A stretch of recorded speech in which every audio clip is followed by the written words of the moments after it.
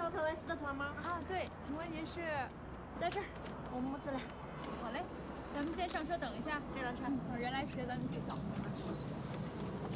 哎呀，你怎么什么都不怕呀？没见过。上车啊！紫色的紫色的头发，这么个是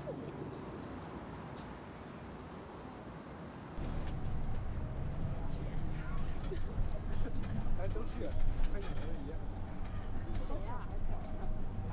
今天是四点五十，准时在这个地方集合。咱们五点钟的时候准时发车，好吧？好，那大家就去吧，祝大家购物愉快。OK，谢谢，拜拜。走吧。哎妈，能不能和导游姐一起在这边等啊？你明明知道我不喜欢购物。哎，那怎么行啊？你不来谁帮我提东西？给妈妈照张相。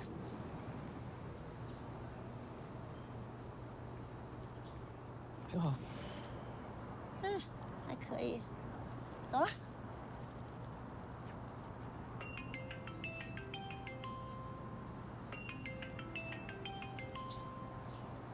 喂，妈，听得到吗？生日快乐！谢谢宝贝，妈妈收到你送的花花了。喜欢吗？照个照片给我看看呗。嗯，拍了，我现在发给你啊。收到没？这怎么有个洞啊？没事嘛，我都插到花瓶里了。你看。哦，看我今天买的。好好看啊！这谁给挑的呀？哦，你今天那个菲菲姐姐陪我去旗袍店买的，在那试了好多好多呢。然后那个短的、长的，长的穿上呢，觉得这个个子也不是很高嘛，穿了不太好看。然后那个呃浅色的呢，穿又胖嘟嘟的。哎，最后你姐姐发现这一件，我一试颜色呀，这个款式呀，刚好都膝盖，觉得挺好的，我就买上了。哦，你看这小坦克也挺精致的啊。妈，司机师傅跟我招手呢，可能找我什么事儿，我先不说了。那你快忙去吧，记着按时吃饭啊。嗯，早点睡吧。拜拜，生日快乐！拜拜，宝贝。拜拜。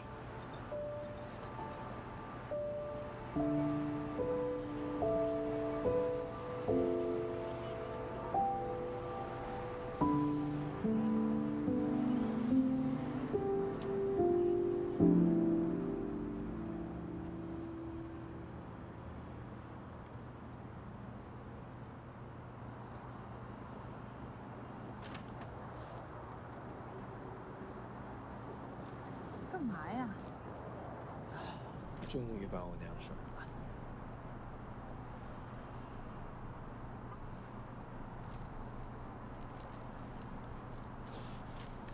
要吗？吃够了。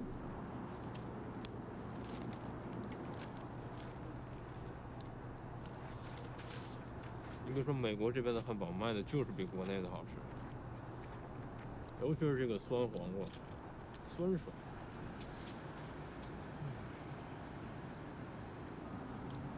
所以之前在这边上学，学的是导游。我刚才在车上听他们说，在这边毕业后找工作特别难，签证什么的很麻烦。你给我讲讲呗，我都不懂，你给我讲讲。什么？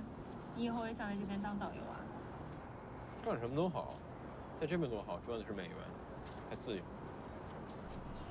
怎么个自由法？没人管的。你看我在这边，自己上学自己住，每个月最多和我妈视频两次，差不多了。然后她还是给我打钱，都好。是挺自由的。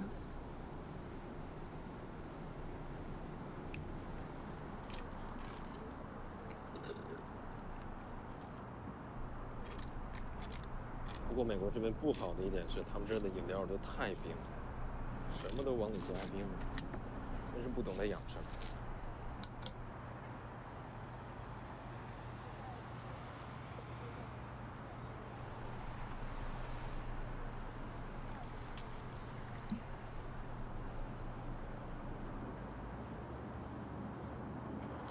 那可是老古董啊！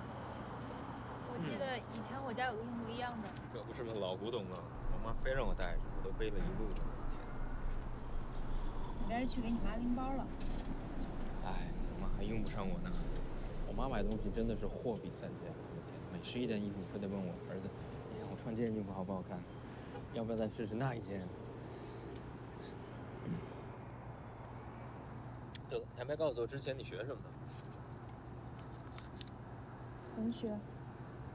哦，文学。高端呀，难怪你平时工作还不忘什么看书啊、学习。你学文学，你干嘛当导游啊？生活所迫呗。生活所迫，你也不能放弃理想，是不是？理想能当饭吃吗？要不我去给你买点午饭？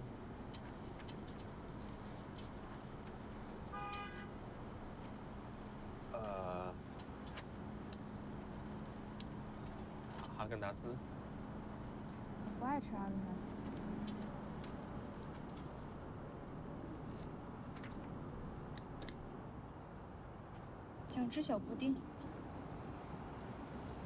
哦，我记得，那种纸包的是吧？五毛一个，奶味特别足。对，以前每年暑假我妈都给我买一箱呢。上次回家我还吃来着，好像是去年。纽约这边肯定也有卖的，这边华人那么多。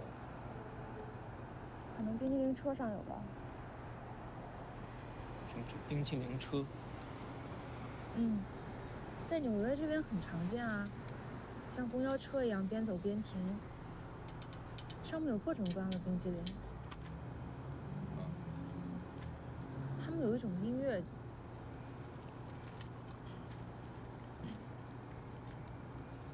哒啦哒哒啦哒哒哒啦哒哒啦哒哒哒哒啦哒哒啦哒哒哒啦哒哒啦哒哒哒哒哒啦哒